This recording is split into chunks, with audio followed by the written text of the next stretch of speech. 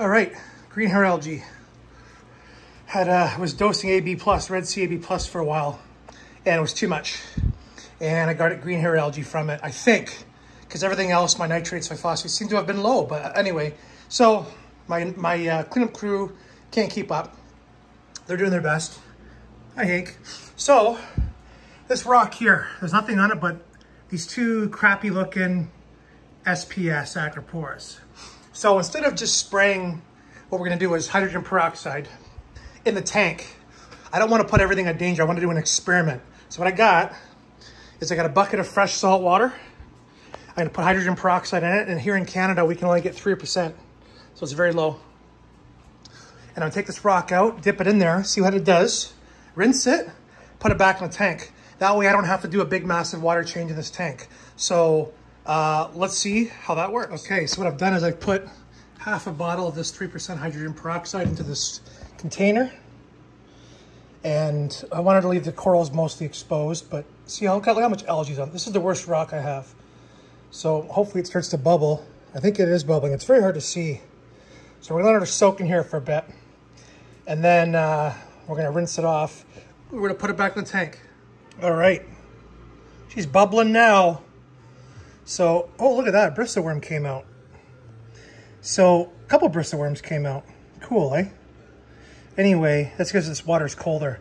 So, I'm not sure how long to let it sit, but we're going to let her sit for a bit. Like I said, it is salt water, so it shouldn't hurt the corals too much. Okay, sorry about all the... I just fed the fish and uh, just cleaned the glass, so there's a lot of sediment right now. But anyway, so there's algae that hasn't been touched and there's the hydrogen peroxide treated algae. So it's like gone white. So we're at 48 hours later now. I didn't want to do a 24 hour video because it hadn't changed much, but as you can see, the algae is dwindling away and the coral are doing just perfectly fine. So dipping the whole coral in hydrogen peroxide did not seem to cause any issues so far. So if this does work and it eradicates the algae in this rock, then slowly over the next couple of weeks, I'm gonna dip this small rock and this guy here and eradicate the algae that way. We'll see how it works. I'll give you an update. All right. So now that we know what's going on with that rock and that it survives and it doesn't kill the coral, I've got this other big rock. This is the other biggest rock full of algae. Made sure that there was no snails or animals in this bad boy. As you can see, the bristleworms come off and you can see, look at all the bubbles. So another bottle, a whole bottle of hydrogen peroxide in this fresh salt water. And uh, we're gonna keep going with this and see how it goes. Hey everybody, so the hydrogen peroxide, as you can see, worked perfectly on that rock and that rock, the, the, the, sorry, the algae that was left was eaten by this guy. This is Herbie, and this is our sea hare. Look at that. Very rarely do you see him come out along the glass, but he does. And uh, so the experiment worked with the green hair algae. Now we haven't done everything. We have to save some for Mr. Herbie here. But when you take a rock, you dip the whole rock in hydrogen peroxide, you kill the algae, you also kill pods. And we have this guy here, Hank. He's my male mandarin dragonet. And he is fat as fat can be and doing fantastic. So we have pods coming to help replenish some of the pods that we lost during the hydrogen peroxide. Oh, look at this. I have not been able to see him do this. So he, we, well, we, well, we call him a he, but they're actually hermaphrodites. Um, cool animal. They will ink if they get frightened or scared or attacked, but uh, there's no issues here. He moves so slow, the fish don't even know he's there. And uh, really cool animal. Munches on algae all day. Like I said, this rock was full the other day. It's gone. but this is pretty cool. I really get to see him do this. There you go.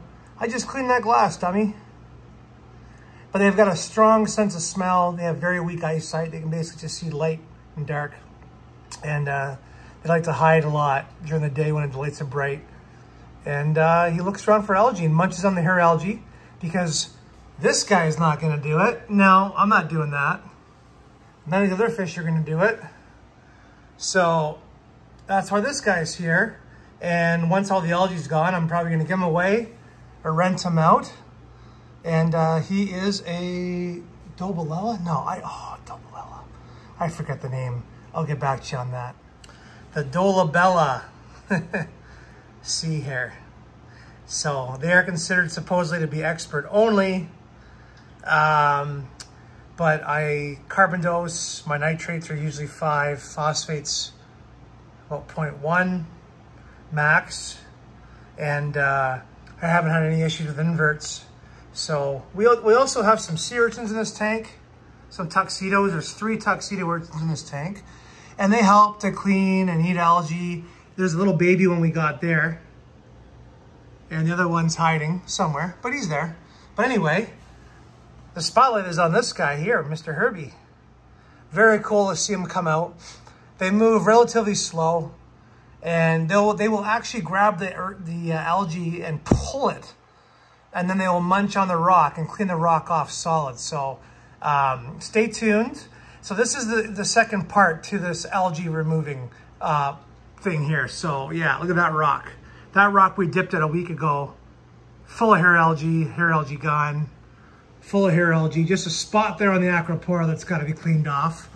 But uh, anyway, thought I'd do a cool portion of this video on the Dolabella sea hare. So if you're relying on tangs and crabs, hermit crabs, snails, urchins, things like that to eradicate all your algae, um, that's not really a good thing to do, in my opinion. Um, and this all happened, as I said earlier, because I was dosing Red Sea AB Plus and doing what they said on the bottle. And I went from a perfectly clean tank to green hair algae in about two weeks. So that was a lesson learned. So now we are trying to eradicate and fix the algae. And as they always say, nothing good happens fast in reef aquariums. So I have no problem being patient uh, I've been carbon dosing again. My nitrates are 2 ppm. So I've been keeping my nitrates and phosphates low, 2 ppm phosphate, or sorry, nitrates, phosphates is like 0.01 now. So we're in the we're in the window. So that's all we can do at the moment and let nature do its thing. Um, so I dosed Vibrant for a while because I had some Vibrant left. That was a big mistake. Um, between that and some stray voltage in the tank, I had some issues with some corals retracting, uh, not looking too happy. Uh, a couple LPS corals have kind of not shit the bed, but are not happy. So now they're gonna have to recover. Um, I've also started to feed Reef-Roids and copepods again um, with the carbon dosing to let the corals kind of recover a little bit. So this has been a, not a massive lesson, but everything's been doing pretty good. I mean, this tank uh, is a year and uh, eight months old now. So we're rocking and rolling. Lots of corals, lots of good things happening. Look at this. Brand new Goniopora. Beautiful. We'll see how that works. New Acropora frag. There's Herbie. Look at that. He decided he was going to climb up the top of the tank from down there up here and clean the algae that's in the strainers for the overflow. Hey, cool. I mean, hey, dude, you're supposed to be over here, but whatever. That's cool with me. So to wrap this video up, um, I'll, do another uh, update video eventually when all the algae's gone, but hey, you guys know what algae looks like and when it's not there.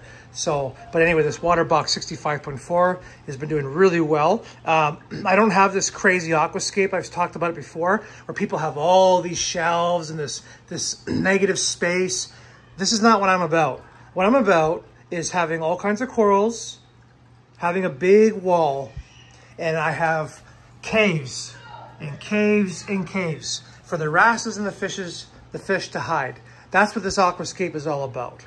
It's not about pleasing you. It's about pleasing what's in the tank. So I'm happy with it. It's been doing well. Great tank. Waterbox makes a fantastic product. Thank you for, to them. And uh, anyway, yeah. So uh, thanks for watching. So dipping the rock in hydrogen peroxide kills the algae. Boom, boom, no hydrogen peroxide.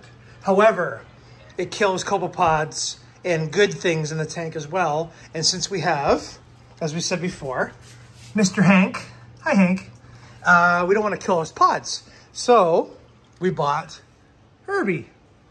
And if Herbie can't get the job done, then we'll loan him out and then we can do some more hydrogen peroxide dipping.